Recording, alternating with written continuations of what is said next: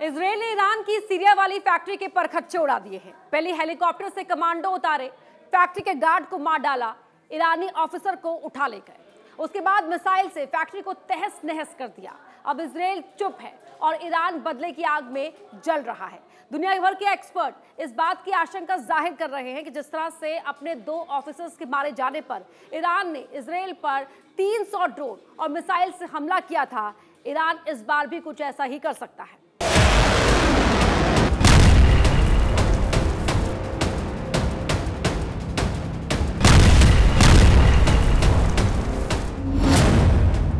Khamenei की सुरक्षा दीवार भरभरा कर गिरी।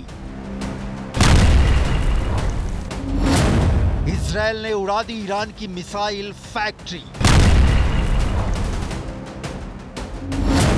पहाड़ की खोह में आईडीएफ का सबसे बड़ा ऑपरेशन।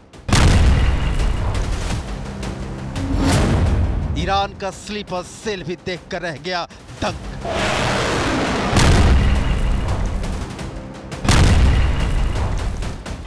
इसराइल ईरान जंग पूरे जोरों पर है।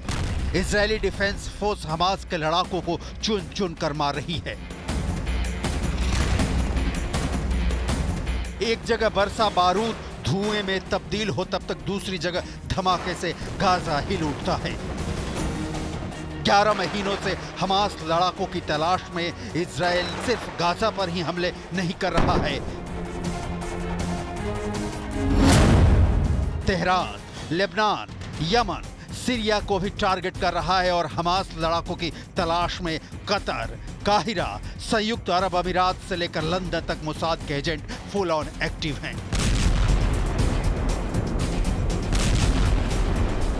आप देख चुके हैं कि कैसे हमास चीफ इस्माइल हानिया को मोसाद ने ईरान के घर में घुसकर मारा। मकसद सिर्फ़ हानिया की हत्या नहीं था। समर्थन कर रहे ईरान को चेतावनी थी। इसराइल क्लियर कर चुका है कि हमास के खात्मे की राह में जो भी आएगा, अपनी मौत का जिम्मेदार खुद होगा। अब ताज़ा हमला सीरिया पर देखिए। सीरिया के मसफ क्षेत्र में मौजूद साइंटिफिक रिसर्च सेंटर पर इजरायली डिफेंस फोर्स पहले एयर स्ट्राइक करती है। यह इसलिए क्योंकि सीरियाई सेना यहाँ अपने अतिरिक्त सैनिकों को नहीं भेज सके। फिर ग्राउंड ऑपरेशन के लिए इजरायली कमांडो हेलीकॉप्टर से उतरते हैं। कमांडो सेंटर के गार्ड को मारते हैं। यहाँ मौजूद दो चार ईरानी अफसरों को उठा ले जाते हैं। सेंटर के यंत्रों और दस्तावेजों को भी अफसरों के साथ ले जाते हैं। इसके बाद मिसाइल अटैक से सेंटर को निस्तो नाबूद कर देते हैं।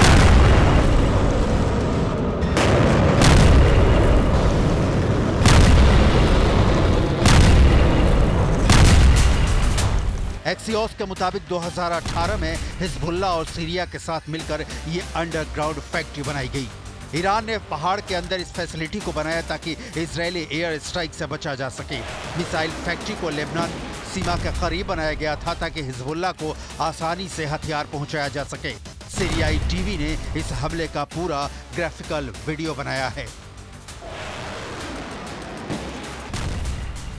यह केमिकल रिसर्च सेंटर है, जिसका इस्तेमाल ईरान और सीरिया दोनों मिलकर करते हैं। इस इलाके में अक्सर सीरियाई सरकार के अधिकारियों और ईरानी रिवोल्यूशनरी गार्ड के अफसरों की मीटिंग होती है। माना जा रहा है कि जिन ईरानी अफसरों को इजरायली फोर्स ने अगवा किया है, वो अलग अलग चीज़ों के एक्सपर्ट हैं। सीरिया के मसैफ और हमा इलाके में ईरान समर्थित आतंकी समूहों के लोग रहते हैं। ये हमला 9 सितंबर का है। इस हमले से मसैफ और हमा इलाके के 10 बिल्डिंग ब्लॉक्स पूरी तरह से खत्म हो गए। मिसाइल फैक्ट्री पर अचानक हमले से सीरियाई गार्ड्स हैरान रह गए। कहा जा रहा है कि मसैफ और हमा का ये रिसर्च सेंटर असल में ड्रोन्स और रॉकेट बनाने के काम आते थे। इजरायली सेना की ओर से की गई रेड पिछले कुछ वर्षों में ईरान और सीरिया के खिलाफ पहला ग्राउंड ऑपरेशन है। इस फैक्ट्री की तबाही ईरान, सीरिया समेत हिजबुल्ला के लिए बड़ा झटका है क्योंकि यहाँ मीडियम रेंज की सटीक मिसाइलें बनाई जाती हैं। रिपोर्ट में दावा किया जा रहा है कि ऑपरेशन को लेकर इजरायली सरकार चुप है, क्योंकि इसराइल नहीं चाहता कि वो कुछ ऐसा कहे जिसे ईरान या सीरिया भड़क जाए। इसराइल के इस ऑपरेशन में 15 मिलिट्री साइट को टारगेट बनाया गया, जिसमें 18 लोग मारे गए हैं और 37 लोग जख्मी हुए हैं। 7 अक्टूबर 2023 जब हमास ने इसराइल में घुसकर 1200 लोगों का कत्ल कर दिया और दो सौ इक्यावन लोगों को बंधक बना लिया, उसके बाद इसराइल की ओर से ये अब तक के सबसे साहसिक मिशन में से एक है। इस मिशन में इसराइल ने अपनी ओर आने वाली मिसाइलों की सप्लाई लाइन भी काट दी। रिपोर्ट के मुताबिक सीरिया में इसराइल ने जहां रेड की वो एक अंडरग्राउंड मिसाइल कारखाना है इसराइल ने इसे नष्ट कर दिया अमेरिका और इसराइल के दावे के मुताबिक ये मिसाइल फैक्ट्री ईरान ने बनाई थी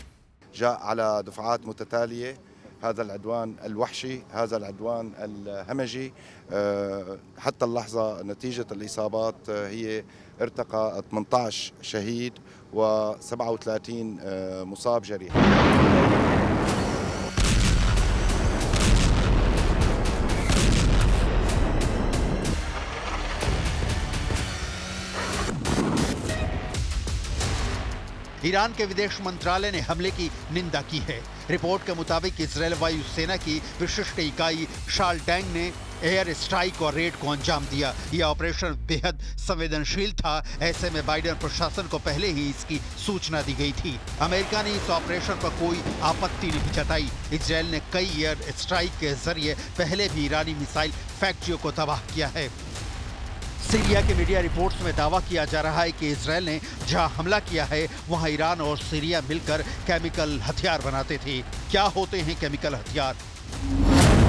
Organisation for the prohibition of chemical weapons यानी ओपीसीडब्ल्यू के मुताबिक केमिकल हथियार इतने घातक होते हैं कि ये पल भर में हज़ारों लोगों को मौत की नींद सुला सकते हैं और साथ ही उन्हें अलग अलग बीमारियों के प्रभाव से तिल तिल कर मरने को मजबूर कर सकते हैं। 2023 में केमिकल वेपन के वॉचडॉग यानी ओपीसीडब्ल्यू ने घोषणा की थी कि अमेरिका आखिरी देश था जिसके पास ये हथियार मौजूद थे और इन्हें नष्ट किया जा चुका है। उन्नीस के केमिकल्स वेपन कन्वेंशन के मुताबिक इसमें शामिल सभी देशों को सितंबर 2023 के आखिर तक सभी केमिकल हथियारों को नष्ट करना था।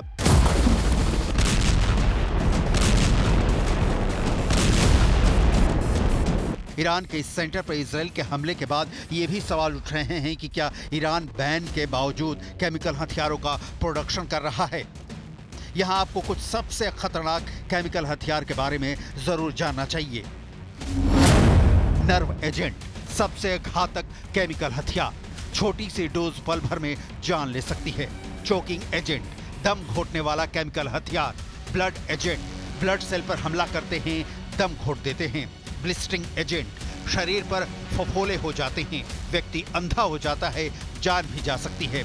रॉयड कंट्रोल एजेंट आँख, मुँह स्किन फेफड़े में जलन पैदा करते हैं।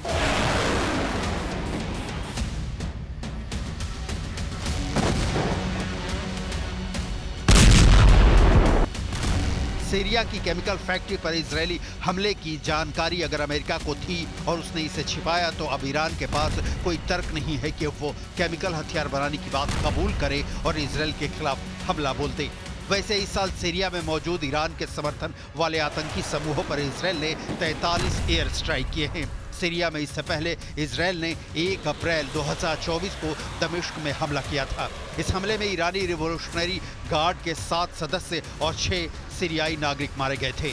इसराइल ने इस हमले में खुद के हाथ होने की बात से इनकार किया, लेकिन ईरान ने इसराइल पर हमला कर दिया। 300 ड्रोन और मिसाइलें दाग दी। इसराइल दुनिया के उन देशों में से है जो किसी भी खतरे को आने से पहले ही खत्म कर देता है। इसके लिए उसे चाहे किसी देश के अंदर अपनी सेना ही क्यों न भेजनी पड़े। इसराइल युद्ध भले ही हमास के खिलाफ लड़ रहा है, लेकिन ये समझना बहुत ज़रूरी है कि 11 महीनों की लड़ाई में अपने से किसी भी स्तर पर तुलना के काबिल नहीं समझने वाले हमास का सफाया क्यों नहीं कर पाया है? इसका जवाब पूरी दुनिया जानती है और वो ये है कि इसराइल के हर दुश्मन को ईरान का समर्थन हासिल है। ईरान ये सालों से करता रहा है। ईरान मानकर चलता है कि इसराइल का अस्तित्व अरबों की ज़मीन पर खड़ा हुआ यहूदियों की घुसपैठ है। यानी इसराइल का समूल नाश ईरान का मकसद है। इसके लिए वो यमन के हूथी विद्रोहियों को समर्थन करता है। लेबनान के हिजबुल्ला का भी समर्थन करता है। यही हाल सीरिया का है। ईरान सीरिया में उसके साथ है, जो अमेरिका का विरोधी है। इसराइल का दुश्मन है।